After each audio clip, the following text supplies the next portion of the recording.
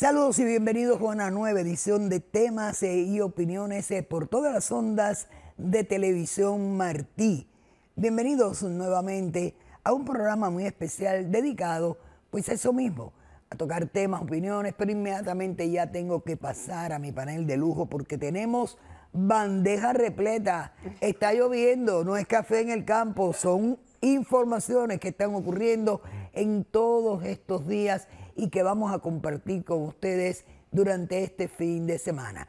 Bienvenida mi querida Lucy Pereda, periodista, analista política también de la poderosa 670. Muchas gracias. Mi querido Julio Schilling, Encantado. escritor, politólogo y director de El Tanque de Pensamiento Cuba, mm, eh, Patria de Martí. Encantado, querida. Bueno, pues Contigo, vamos de inmediato a lo que nos ocupa porque hay informaciones y están, pues bueno, así como que fluyendo constantemente.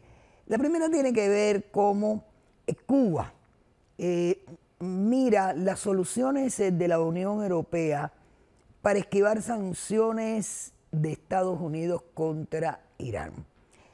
Esto me llamó tanto la atención porque yo dije, caramba, la Unión Europea, Cuba, esta mezcla de utilizar una entidad tan importante que justamente acaba de tener muchos actos de benevolencia con la tiranía cubana. Y mira por dónde. Ellos la quieren utilizar como herramienta política para ver cómo pueden evadir las sanciones impuestas por Estados Unidos a Irán y poder seguir comercializando. Exacto. Es que esa dictadura es perversa.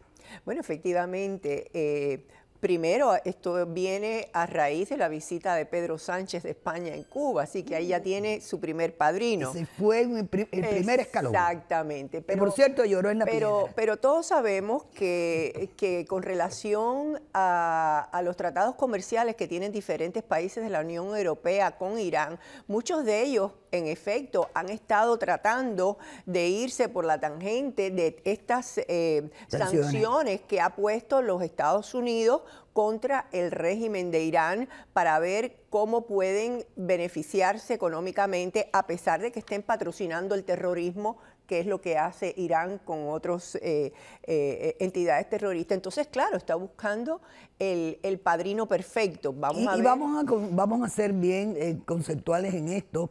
Estoy hablando por un cable de AFP que relaciona y da detalles como por ejemplo todo lo que la Unión Europea logre para tener mayor independencia, para enfrentar estas acciones hegemónicas de Estados Unidos, en el caso de Irán, estaríamos interesados en conocer de alguna manera si podemos ayudar a las relaciones entre Cuba y la Unión Europea, dicho por el director general de Asuntos Multilaterales, Rodolfo Reyes.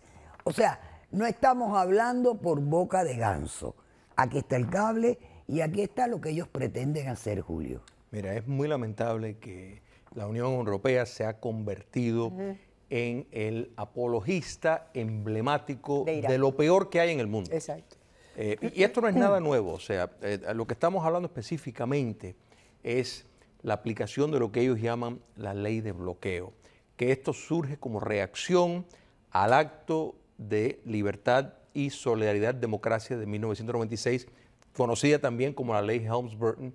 Esto fue la reacción europea, donde prohibía a empresas europeas tomar la decisión propia de acatar la ley estadounidense, lo prohibía y eh, ofrecía indemnización a esas empresas europeas por cualquier precio que pagaran, o sea, utilizar fondos públicos de Europa para subvencionar empresas que tuvieran pérdidas por, el- Por violar la ley por violar la ley. Esto es totalmente inmoral y demuestra un abandono absoluto de la Unión Europea por todo lo que vale en el mundo de derechos humanos, de democracia y de libertad. En la defensa de Irán, que es una dictadura de corte totalitario de los ayatolás, esto, es una def- esto es una vía de buscarle el mecanismo para que puedan sobrevivir en el poder. Pero eh, mi pregunta es, ¿cómo lograrían hacerlo? Porque ya, por ejemplo, el Departamento del Tesoro bajo esta nueva administración tiene poderes más amplios para rastrear toda una serie, aunque claro, Cuba no creo que busque tanto mm, compensación económica como apoyo logístico y político. No sé, es mi humilde criterio. Mira, eh, solamente el punto de que esa parte de lo que llaman ellos la ley de bloqueo, los europeos, nunca se ha aplicado. En otras palabras, no vemos en el ejercicio como, que yo creo que es el punto que tú quieres establecer, que me parece claro, porque... Eh, no se ha puesto en práctica. No se ha puesto en práctica, porque en efecto la ley House nunca se aplicó las partes más fuertes y entonces esa ley está dormida. Bueno, la han Muchos países amenazaron a Estados Unidos con demandarlo ante eh, eh, la Organización Internacional del Trabajo y, otras entidades internacionales porque era como inmiscuirse ¿no? en los asuntos internos de con quienes ellos se relacionan económicamente. Pero ¿qué es lo que es la ley de bloqueo europea? O sea, que en efecto va a penalizar empresas que deciden tomar una decisión, decir, no, preferimos negociar, o sea, tener relaciones comerciales con los Estados Unidos y toman una decisión propia. Eso sí es ya recientemente Y ya recientemente ha habido muchas de esas empresas europeas que han decidido ponerse de parte de los Estados Unidos y aceptar el no hacer tratados o negocios con Irán.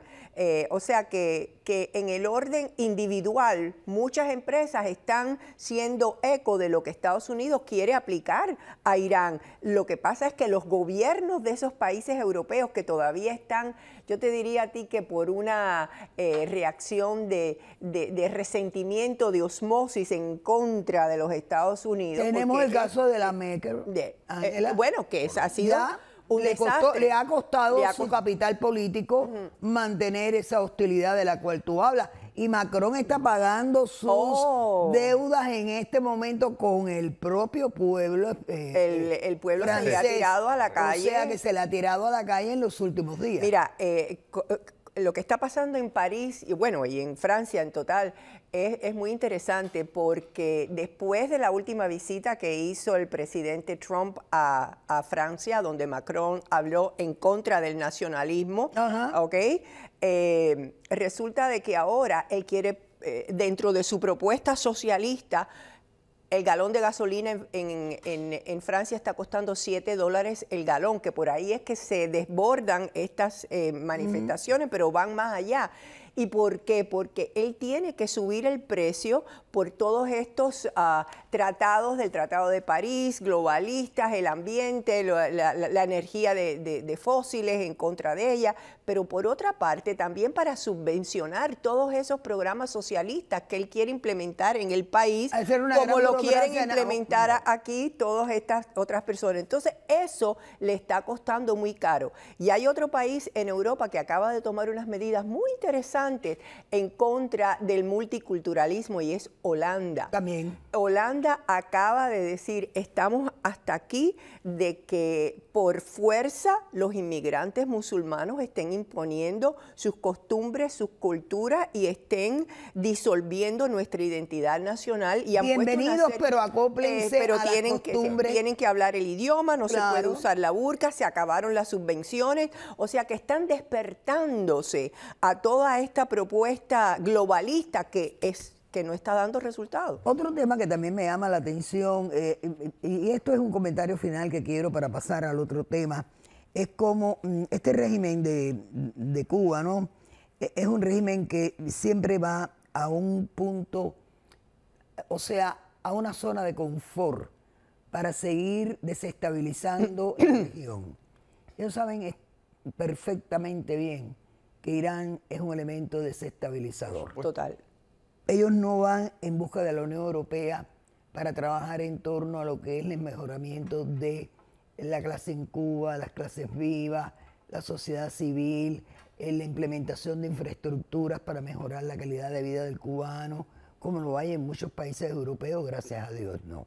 Ellos van, como siempre, al punto de la zona de confort de ellos, desestabilizar, conspirar y mantenerse siempre en, esas aguas tan calientes donde quieren arrimar a todos los países del eje del hemisferio occidental.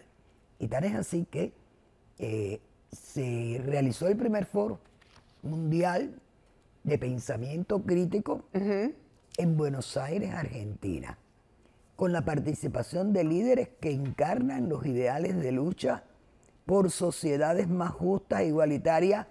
Y, y yo me tengo que poner la mano en el corazón y decir, Dios mío, ¿hasta cuándo el periódico Granma va a mantener esta mentira insostenible?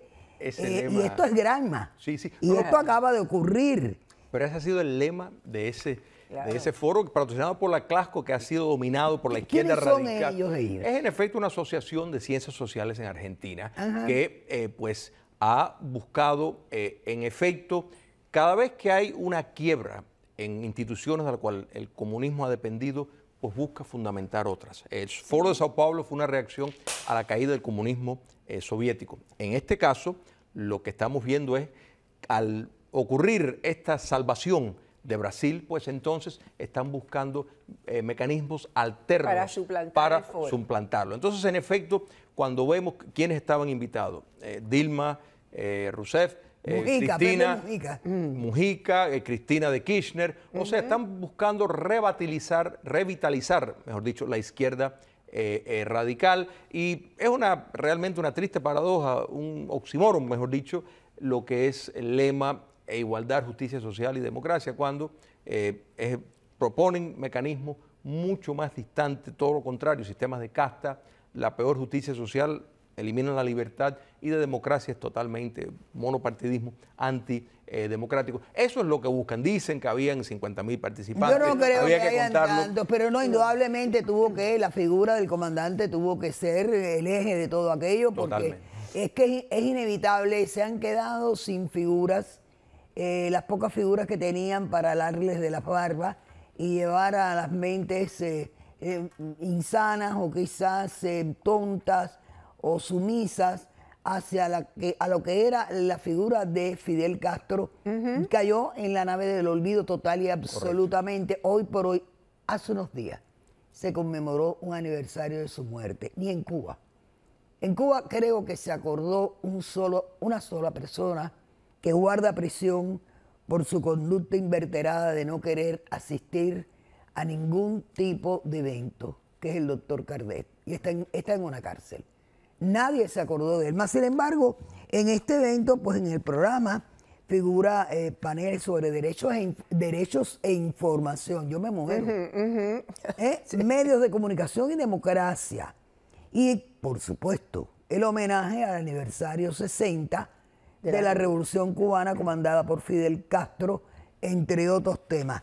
Eh, no sé, eh, a Es veces yo todo- quisiera llorar ante esta falta de, de iniciativa propia por parte de líderes o pseudo líderes de la América Latina. Bueno, en este momento yo creo que la mayor esperanza para contrarrestar esta, esta nueva estrategia que este grupo está haciendo para suplantar el Foro de Sao Paulo es precisamente el nuevo presidente electo que tomará posesión dentro de poco, Jair Bolsonaro, porque de- yo creo que de ahí es que ellos entonces dicen, bueno, se nos acabó, eh, se nos cerró el teatro de este lado, vamos a crear este, que pero en un Bolsonaro va a ser total. Mira, zapato. el foro de Sao Pablo cae un desprestigio cuando su máximo líder y su mentor más importante es eh, el Lula da Silva y dónde está en este momento y por qué está. No está por razones políticas. No, está por una corrupción total. Es que Brasil Y el otro muere, base- el otro muere,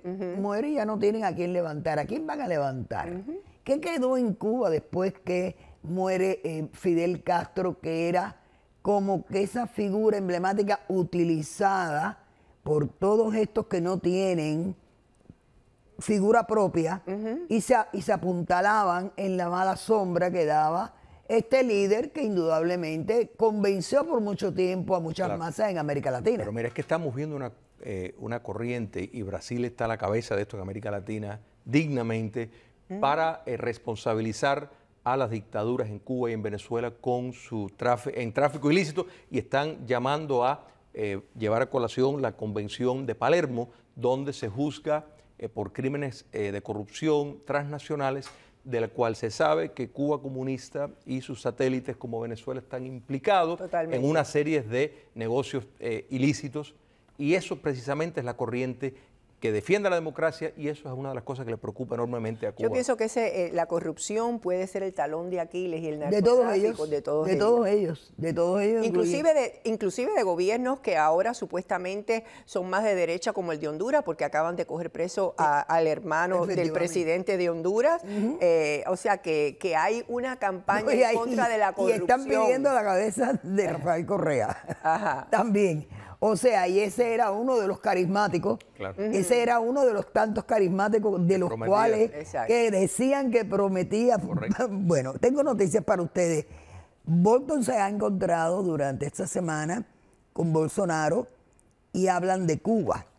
El asesor de seguridad del Nacional de la Casa Blanca y el presidente electo de Brasil abordaron el tema durante una entrevista en Río de Janeiro, acompañado por el cubano americano Mauricio Claver Carone. El asesor de seguridad de la Casa Blanca y el presidente Bolsonaro hablaron sobre Cuba durante la entrevista en Río. Cuba fue uno de los tres temas que según Bolsonaro abordaron. Señalaron despacho de prensa de la fecha en que ellos se reunieron los otros fueron Israel y los aranceles aduaneros. Pero aquí me llama la atención cómo eh, este joven Mauricio Claver ha llevado, eh, desde que entró a formar parte de este gabinete, eh, alimentado las sanciones no solamente a Venezuela y a Nicaragua, sino a Cuba con nombre y apellido. Correcto. pero es que no podemos hablar de la subversión comunista en el continente. No podemos hablar del narcotráfico por el vínculo que tienen con las FARC eh, y los carteles de México. No podemos hablar de eso sin mencionar a Cuba comunista. Y, y, Bolton lo entiende muy bien, Mauricio Claver lo entiende muy bien y el gobierno electo brasileño también lo entiende muy bien. Estamos viendo el video de Bolton con Bolsonaro cuando se reunieron en, durante este fin de semana en, Brasil. Ahora, algo muy interesante, mira, fíjate si esta dictadura es el eje del mal. La Interpol ha estado buscando por años a un líder de la guerrilla narcotraficante del ELN. Duque ha denunciado que ese señor está en La Habana y ha estado enfermo, hospitalizado. y, yo me pregunto, yo digo, Dios mío, eh, pero presidente Duque, usted viene de un proceso de paz que dónde fue, claro. dónde fue discutido, dónde veranearon, dónde no hubo una prensa que pudiera hacer preguntas incómodas en La Habana, Cuba. Claro. Y todavía se sorprenden de que se burlen hasta de las democracias recién nacidas. Correcto. Mira, la miseria que hay en Cuba, la miseria que hay en Venezuela, es por estar subvencionando a individuos como esos terroristas que están viviendo a costa de el pueblo de Cuba y el pueblo de Venezuela que está financiando porque viven y el costo para mantener a todo e, ese proceso entero eh, fue extraordinario y sin embargo eh, la pobre sociedad cubana y venezolana son los que tienen que pagar los precios. Efectivamente, y ahora yo creo que esto puede ser quizá el principio de un arreciamiento en todas estas medidas para ir en contra de, estos títeres del comunismo que tenemos en Latinoamérica y la corrupción, porque eh, acabamos de ver que eh, se acaba de aprobar pendiente en el Senado de los Estados Unidos, pendiente que se apruebe en el Congreso el NICA Act precisamente para poner ciertas eh, sanciones al gobierno de Nicaragua, pero muy especialmente a los dirigentes más allegados como Moncada Lao y la esposa de eh, Daniel Ortega y vamos a ver esas piedras en el zapato, qué es lo que van a, qué es lo que van a, dar. Y un, y un, comentario muy interesante que leí en el, en el último parte de prensa que dice que Estados Unidos considera a Nicaragua como, una, ah, como un riesgo a su seguridad. Y eso es muy importante porque no te olvides que en Nicaragua hay un centro satelital llamado GLONASS que eh, es capaz de teledirigir a submarinos y a, otros eh, eh, aviones, etcétera, que está muy cerquita de la embajada de Estados Unidos en Nicaragua. Definitivamente. Y otra cosa que me llama la atención es la visita del hijo de Bolsonaro aquí a Washington, donde se reunió con Marco Rubio, donde se reunió con importantes sectores de lo que es el poder ejecutivo y el nombramiento del canciller Araujo. Eh, ya por ahí, cuando tú te pones a mirar los perfiles de los que van a conformar el próximo gabinete, te das cuenta de que Jair Bolsonaro va más allá de lo que es Brasil. Correcto. Va a descomunizar Brasil y la región. Efectivamente, porque ellos se dan cuenta de que si no lo hacen ahora, eso va a seguir como un pulpo con muchos tentáculos, contaminando el resto de Latinoamérica. Mira, en un programa que tuvimos, eh, me acuerdo que hablamos cómo es que los demócratas lo toleran este tipo de cosas. Bueno, existen los demócratas que no entienden bien la naturaleza del mal. En cambio, tanto el presidente electo Jair Bolsonaro como su canciller de Relaciones Exteriores, Ernesto Araujo, sí entienden bien esa naturaleza. Es la gran diferencia. Ven el peligro eh, del globalismo y cómo el comunismo internacional lo utiliza para promover su subversión. El marxismo cultural, que es lo que está sustentando ideológicamente y preparando la maquinaria instrumental para lograr este fin por medio de la ideología de género, por medio del multiculturalismo. lo vemos en todas las democracias. La famosa diversidad. Entonces, ellos se habla mucho y nadie sabe de qué se trata. Correcto, y al entender eso bien, están en sincronización con la actual administración. Por eso es que, gracias a Dios, eh, los Estados Unidos tienen un gran aliado y Brasil tiene un gran aliado en los Estados Unidos. Ya Cuba reaccionó, mm, reaccionó con, como siempre, los ataques, la descalificación, eh, el, ataque a, la moral de, de, Jair Bolsonaro lo, califica de neonazi. Imagínate tú. Bueno, es que eso e, esa es la última tendencia de todo el movimiento de izquierda. Cualquiera que ellos no les guste, inmediatamente lo califican de nazi, de homofóbico, islamofóbico y de todos los fóbicos. El problema, el problema es todo lo posible para que no saliera, porque los editoriales oficialistas del castrismo, durante el proceso de las elecciones, era casi a diario atacando a Bolsonaro cuando era candidato. Ellos sabían lo que venía. Brasil tiene muchos secretos por medio de los dos eh, eh, regímenes de Lula y de Dilma. Tiene muchos secretos, mucha información que el presidente electo Bolsonaro ha dicho que lo va a utilizar para llevar Pero a tribunales. También tiene una izquierda muy fuerte, muy poderosa y que tiene muchos medios de comunicación en sus manos y lo sabemos perfectamente bien. Y tristemente los pueblos a veces se dejan fumigar por la mala propaganda. Eh, fíjate la reacción que ha habido con el tema de los médicos y el, que Bolsonaro le quitó las cadenas de esclavos a las batas blancas, a los médicos, a los paramédicos, a los sanitarios, a las enfermeras, demás médicos. Ayer Cubana, o antier, Cubana de la Lesión se llevó un avión vacío porque no, no quieren regresar y eso que el chantaje moral, económico, familiar de Cuba ha sido de proporciones olímpicas. Mira, y han desclasificado, o sea, han, hecho público toda la base de los tratos que desmiente totalmente, o sea, ahí demuestra la complicidad de la Organización Panamericana de Salud. Total, absoluto. demuestra cómo esto fue una idea del, del castrocomunismo del principio para financiar su subversión y el hecho de que en cuestión de horas fueron reemplazados el 92% de los médicos demuestra que no hacían falta. Exacto. Que eh, todo esto es un, caballo de Troya disfrazado de humanismo, pero dentro tiene propósito este de subversión. Este canciller declaró que los médicos que se quedaran podían calificar para asilo político con sus familiares. ¿Dónde están los familiares? Están en Cuba. Porque una de las razones que esgrimían muchos médicos que abandonaban la misión más médico era que no podían tener a sus familiares y, le retenían también parte del dinero que ganaban en Cuba. O sea, no solamente el que le daban en líquido en el país, sino también en Cuba, en una famosa cuenta, como para que ellos ayudaran a la familia. Exacto. O sea, e, e, e, es, una, es un entarimado de corrupción, de maldad contra, contra lo que ellos mismos crearon. Ellos crearon una sociedad para desbaratarla porque hoy por hoy esa sociedad se les está virando día tras día. Y la información es poder. Ya Cuba no es una isla aislada. Cuba es una isla que tiene contacto con el exterior, no solamente a través de las comunicaciones como esta, como radio y televisión Martí, sino a través de los viajes que dan distintos grupos por América Latina.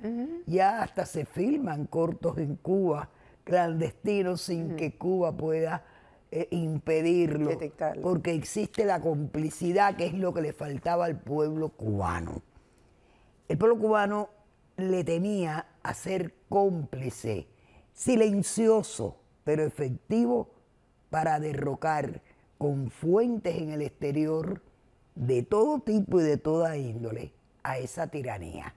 ¿Ya llegó la complicidad o no lo ven ustedes? Pero claro que sí, y es una cosa muy importante que se desprende de lo que tú has dicho, es que el pueblo cubano a través de toda esa red de comunicaciones y contactos sabe que tiene un apoyo en el exterior. Claro. Que ellos no están solos, que, que eh, que hay un eco a esa protesta en contra de los derechos humanos y de la opresión y de todas las barbarias que están ocurriendo en la isla, así como en Nicaragua y en Venezuela. Es decir, que, que hay un gran movimiento eh, de resistencia a la mentira y a la opresión de todos estos regímenes de izquierda, que para mí no son otra cosa que unas monarquías vestidas con otro traje. O sea, quiero darle, quiero darle las gracias a los dos, a mi querido Julio Chile a ti, Lucy Pereda, por esos eh, acertados eh, opiniones eh, en estos temas que llevamos todos los fines de semana al pueblo cubano, porque ustedes tienen que conocer